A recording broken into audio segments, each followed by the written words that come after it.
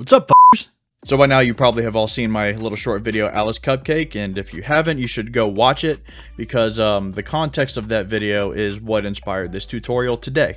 If this is your first time to the channel, welcome. My name is Tyler Seaman. I am a DaVinci Resolve YouTuber. I dabble in Blender sometimes when my computer allows it.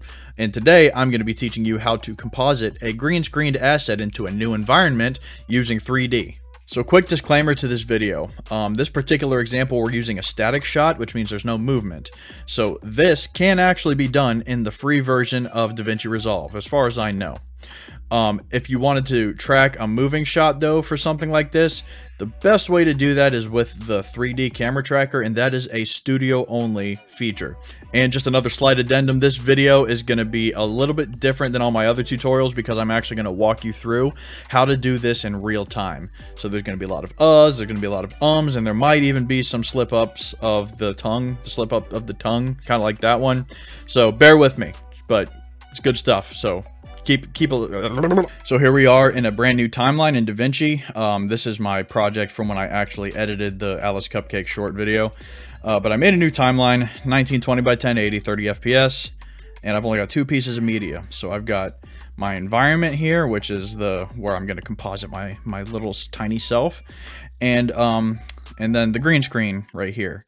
Uh, the green screen is not well lit. I was in my house and I was trying to film this. I had to kick my kids out of the house with my wife to film this so, in our living room. So I didn't have much time to light, so I did the best I could. Um, and also, I filmed in a 9 by 16 aspect ratio, and that's actually a, uh, a tip that I learned from another fellow YouTuber who's a game review channel. He goes by Manley Reviews. Um, and if you're into video games, or if you're just into awesome edited videos, my favorite drink is battery acid. go check him out because his stuff is masterful. He's got a Patreon too, which shows how he does all the stuff in the disgusting inferior Adobe After Effects. Filming this in uh, 9 by 16 it uh, eliminates all this unneeded real estate, basically. Um, so I was able just to focus on the actual green screen when I when I delta keyed it out, basically. So um, you probably noticed that this is short and this is incredibly long.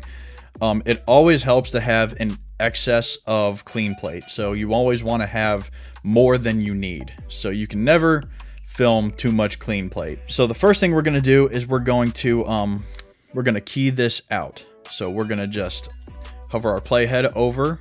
You know, it could be anywhere as long as it's touching the uh, the clip you want. Hover the playhead over the clip that you want to um, to composite with or just to mess around with and go into the fusion page.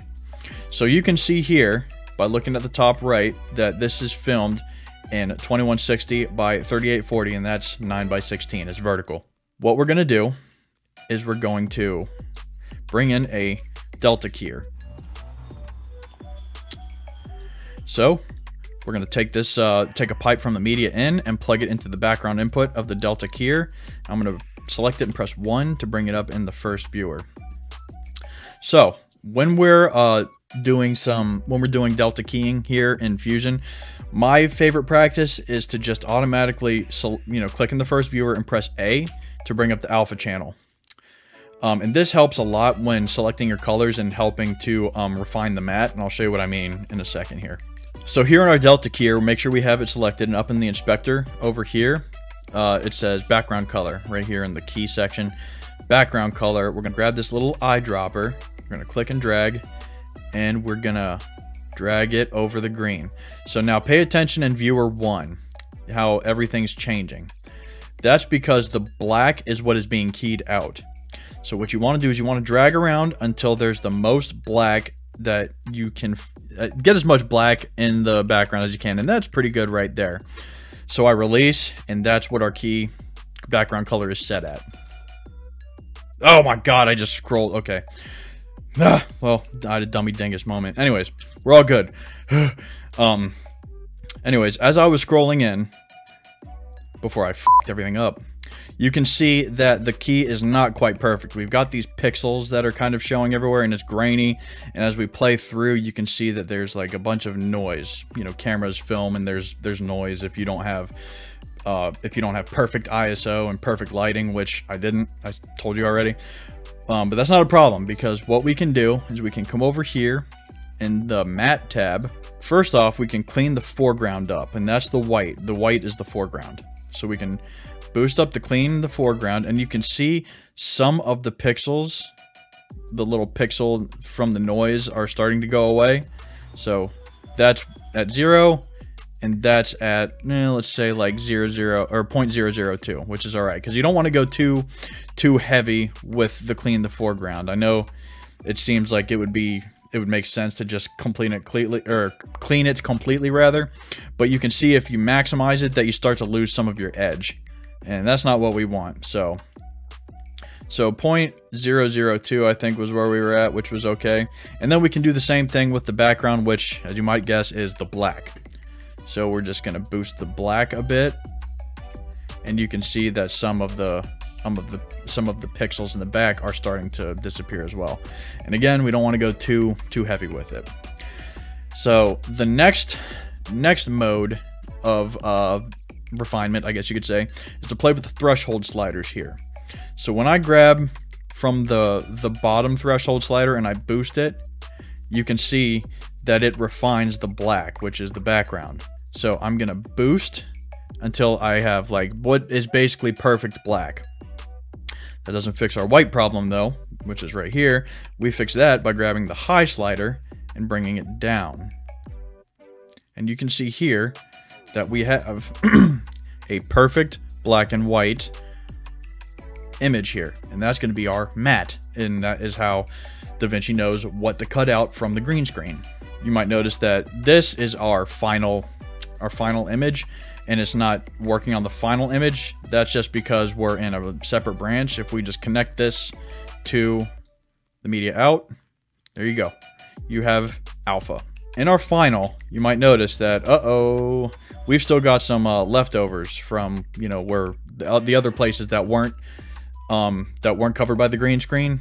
That's okay. We can fix that pretty easy.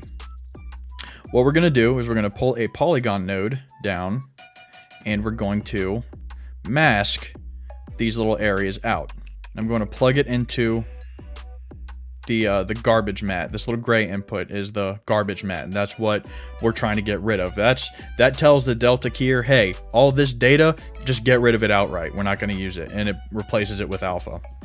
So anyways, now that we've got it plugged into our garbage matte, we're just going to start doing a rough, rough mask on what is... Oh, you can see there's a little bit of fuzziness up here. I'm to go back into the Delta keyer and I'm just to refine that some more by bringing up the black level. That looks pretty good.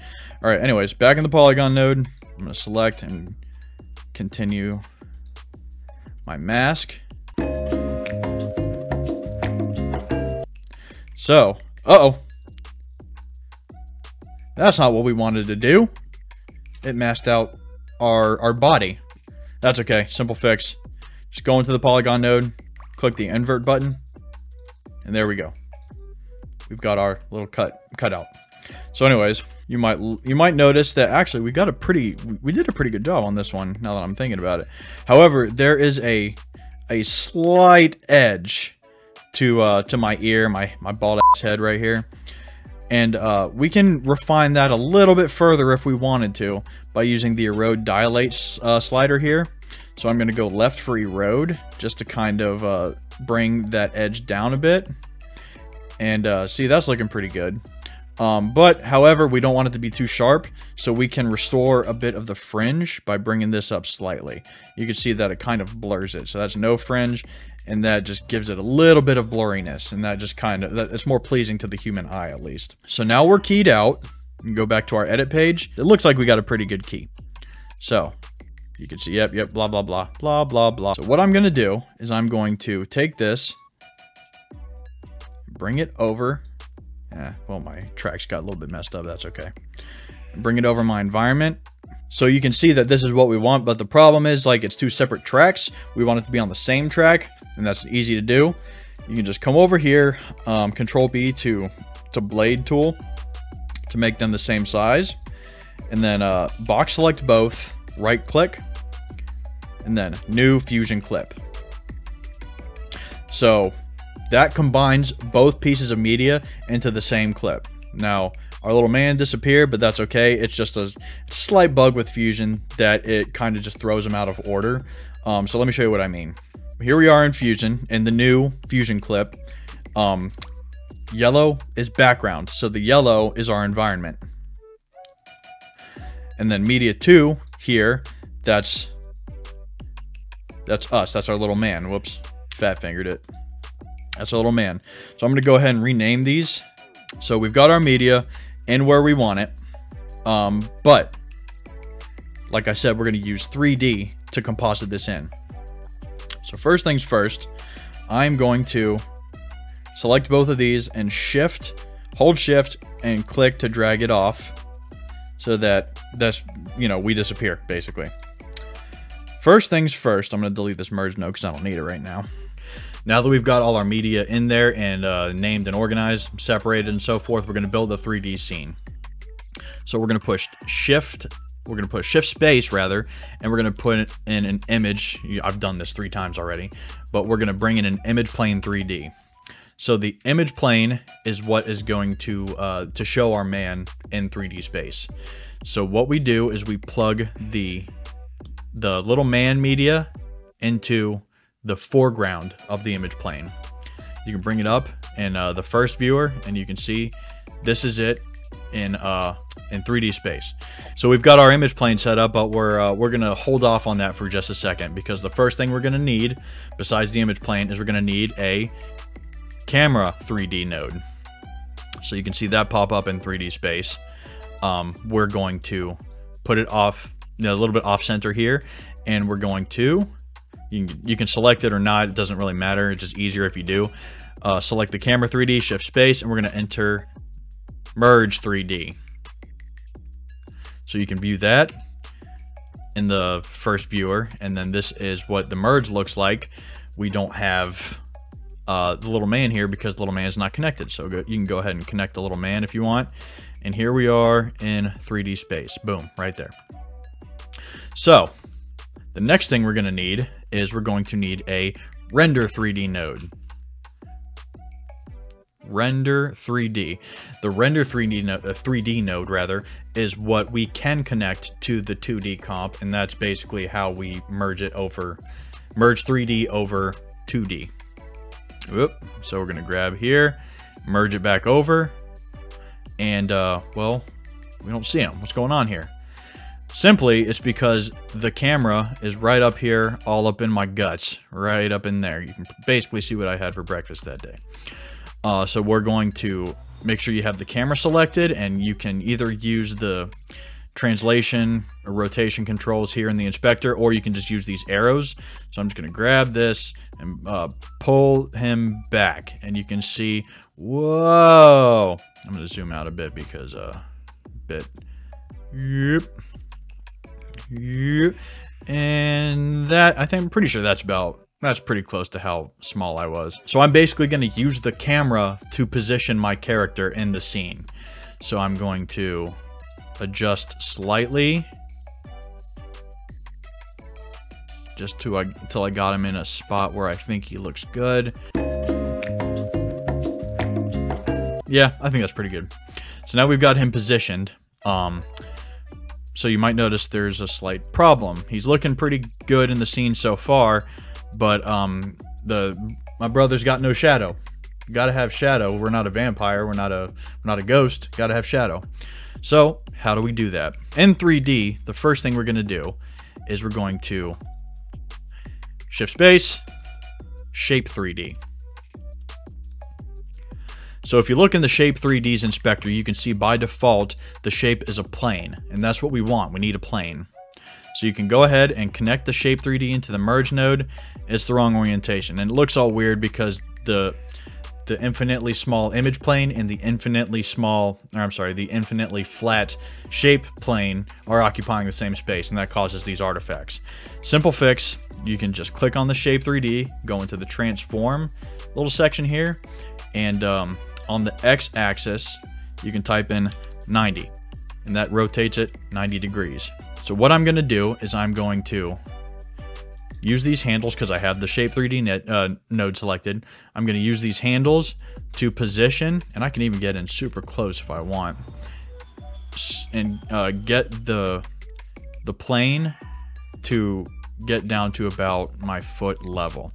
Now it's not perfect because we're not standing perfectly flat on. So like if we were to create a shadow this way, um, the foot, the shadow of the this foot would be touching, but the shadow of this foot wouldn't be anywhere near it. So what we're gonna do is we're gonna use the leading lines of the scene to help position the ground plane.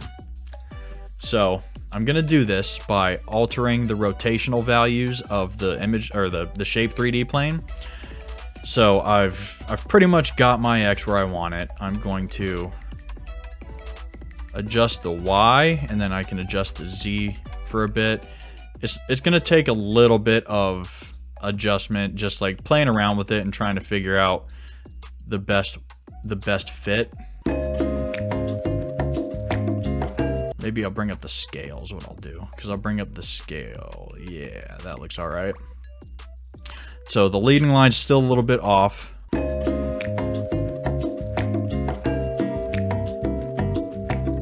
And then we can we can refine this in post when we actually have our shadow. So so that's looking pretty good. We've got our we've got our plane set, and this was uh, just to give it a look, basically. Okay, so we've got it to a relatively basic 3D scene. So this is what we want.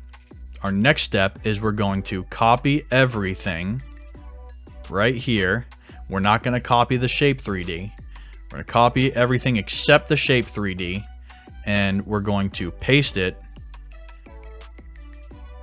Well, I didn't copy it, it looks like. Control C, Control V. There we go. So we're going to copy all of these. And we're going to... Whoop, merge them over in front of our little man uh, merge right here. And the reason we do that is because this is going to be our shadow. Okay, so if we view this in isolated view, like say we uh, say we uh, control P on this merge here, that turns off the that turns off the shape 3D. It turns off all this stuff that we did prior. What we're to do is we're just to grab the shift, uh, or I'm sorry, the shape 3D, shift click, drag down. So we're going to merge the shape uh, 3D here over this merge. So we're still seeing this. The first thing we're to do is we're to go into our render 3D here and we're going to enable lighting and we're going to enable shadows. So it goes perfectly black. Why is that? Well, we don't have any light in our scene. So to do, or to fix that, we're going to shift space, type in spotlight. There's our spotlight. We're going to connect it to the merge. Nothing's happening because we need to position our light. So, whoa, there we go. Um, where, where our light is uh, affecting our little man, but it's not affecting anything else. So let me position this and I will tell you why in just a second. Okay, so you can see here, I've got my light roughly where I want it. Um, you can see our little man is being like completely blown out by the light and our ground plane, which is the shape 3D plane, um, nothing's happening to that. Why is that? Well, we have to do some messing around in the materials of each object. So firstly, we're going to go into the shape 3D and we're going to go into the, oh, I'm already in it. Go into the material section down here to transmittance. We uh, have received lighting and we have received shadows. We don't want it to receive lighting. So when we turn that off, the light is, you know, it doesn't register that light is hitting it. So it goes back to pure white. So you can probably guess what we're going to do with our image plane 3D. We got to do basically the same thing go into the material settings, and under transmittance, we're going to say receives lighting. We're going to uncheck that so our little guy goes back to normal. And we're going to uncheck shadows because we don't want the man to receive the shadows. We just want the ground plane to receive the shadows. Okay, so now that we've got our materials all set up, um, you'll notice that there's no shadow. Well, that's only because the position of the light. Um, our light, if you can see right here, our light and our camera are going in the same direction. So it's not possible for the camera to see the shadows. So we adjust the si adjust the spotlight direction right here. You want to make sure you're uh, either in the merge or in the spotlight. I'm going to go jump into the spotlight just so I can have these controls. And I'm going to adjust the rotation of the light. And you can see as I do that, the shadow starts to show up. It doesn't look like look quite right, but that's because I just need to mess around with the I have to mess around with the position of the light.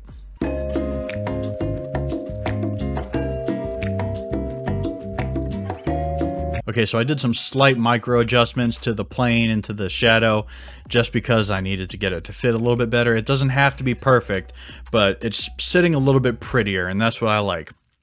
So, the problem is we've still got our man showing in this layer, because don't forget, this is only supposed to be the shadow layer. This is going to be our, our man layer, and then this is the shadow layer. So the way we fix that is we bring out our image plane 3D, and our media source. And we're going to shift space and we're going to enter in an override 3D node right here. So with that connected, we're going to come in here and uh, under visibility, we're going to check do unseen by cameras and then double check unseen by cameras. And that makes our man disappear. Come back over here and we're going to unhide our other man layer. So with that all done, this is truly just the shadow layer, and then this is the man layer.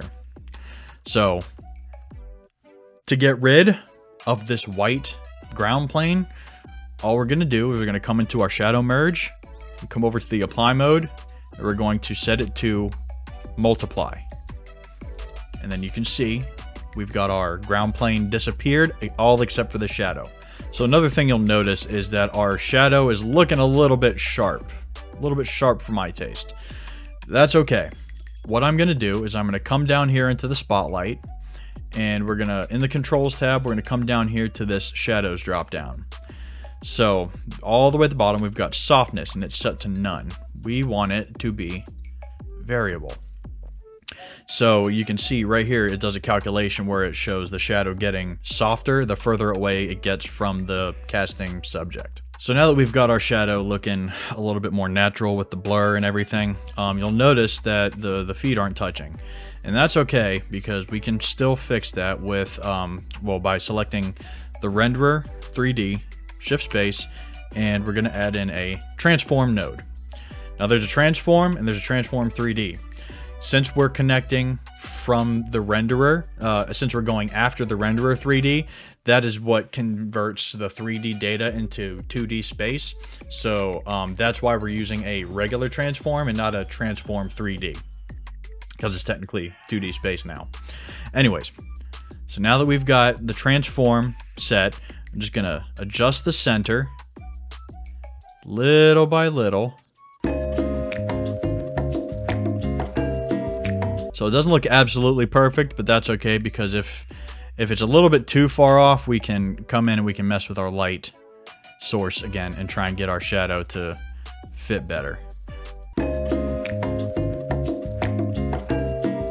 So after some repositioning of the spotlight and of the actual whole shadow uh, shadow merge itself, uh, we've got it looking pretty decent. Um, it would be a little bit tougher to get away with this if it was a tracked moving shot, so on and so forth.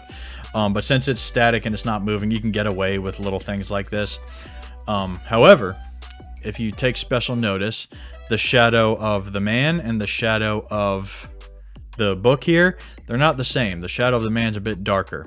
And we fix this by going into our shadow merge and coming into the settings. You know, usually you'll start off here in the merge. We'll go into the settings and we'll drop the blend down until the shadows match somewhat. All right, so that's basically it. We've got our little man composited on. We've got our shadow. We're not going to worry about color grading because that's just completely to your taste. Um, however, we can jump into the edit page, and I forgot to turn on Smart Cache. So I'm going to do that real quick. Let it render out for a bit. So I ended up doing a render in place because OBS running and uh, trying to render Smart Cache was making my uh, encoding overload. So, hey Puget, If you wanted to send a small YouTube or a computer, hit your boy up. So anyways, as you can see, after I did the render in place, the shadow, while not perfect, is still passable. And you can see that it moves along with our image plane 3D, aka our little man. And it looks beautiful.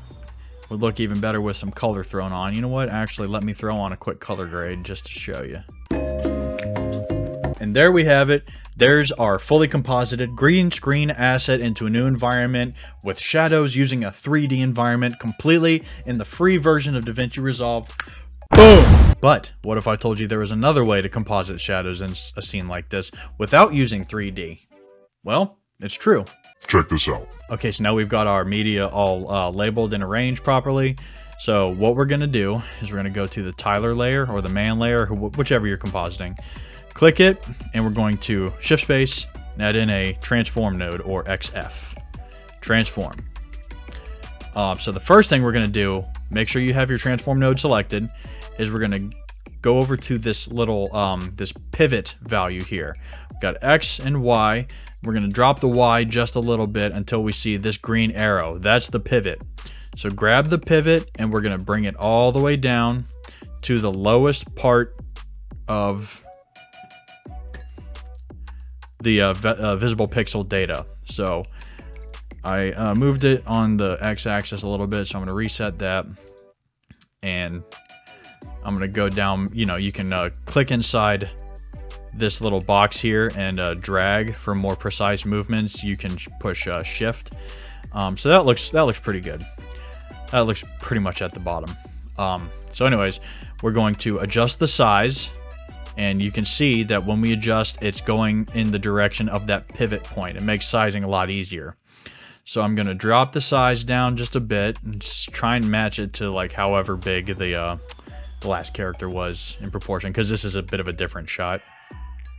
And um, then I'm going to grab this. This is the uh, the center value and we're going to drag to the right the correct position that we want and that's that's pretty good right there maybe I'll drop the size down just a little bit Okay, so now we've got our character sized right. What we're going to do is we're going to select the, the transform node and the media source node, which is Tyler. And we're going to control C and we're going to control V to paste them. So what we're going to do is we're going to merge both of these back over the timeline under the uh, the Tyler the the first instances of these nodes, and uh, I'm going to rename this shadow merge. And what we're going to do after this is we're going to, first off, I'm going to turn this off so we can, you know, control P to pass through the node, disable it. So we're not looking at the uh, actual Tyler.